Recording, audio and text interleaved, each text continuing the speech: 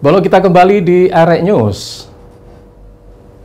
Warga Sidoarjo, Jawa Timur secara swadaya mengubah tempat pembuangan sampah menjadi tempat budidaya sayur mayur, tanaman toga, hingga budidaya ikan. Dengan adanya budidaya ini dinilai mampu meningkatkan ekonomi warga setempat pasca terdampak pandemi COVID-19.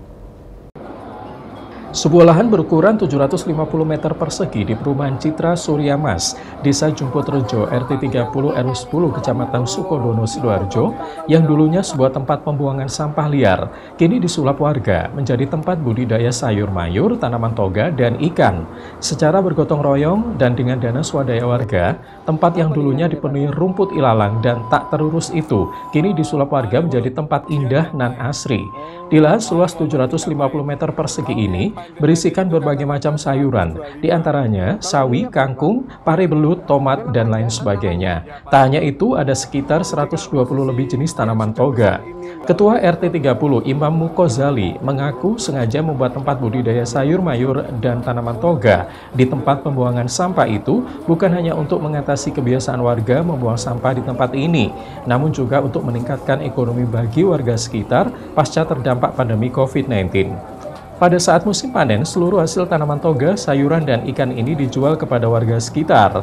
Dana yang didapat dari hasil tersebut sebagian disalurkan ke kas RT dan dikembalikan lagi untuk perawatan.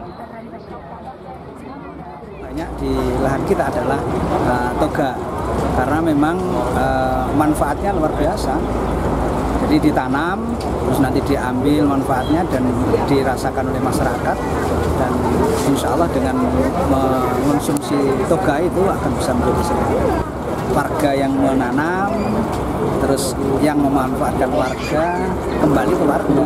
Bahkan uh, beberapa uh, toga bisa dijadikan nilai ekonomis.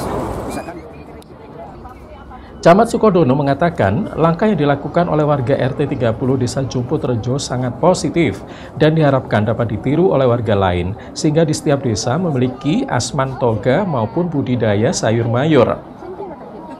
Menurut saya lokasi ini sungguh luar biasa karena oh, iya, iya, iya. Uh, sejarahnya tempat ini dulu sebagai lokasi yang kumuh, terus kemudian tempat pembuangan sampah, terus kemudian juga merupakan hutan alang-alang.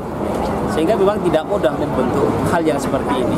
Tapi karena semangat dari warga itu luar biasa, dikerjakan secara gotong royong bersama-sama, secara bertahap ditanami insya Allah ada lebih dari 120 toga yang di sini ini, ini sekarang hasilnya sudah luar biasa. Tanaman toga dan sayur mayur yang ditanam di Asman Toga Asiha ini menggunakan pupuk kompos dan tidak menggunakan bahan atau pupuk kimia, sehingga kualitas sayur mayur maupun tanaman toga diyakini aman dan mampu meningkatkan kesehatan warga. Dari Sidoarjo, Novem Suendra, Arek TV, melaporkan.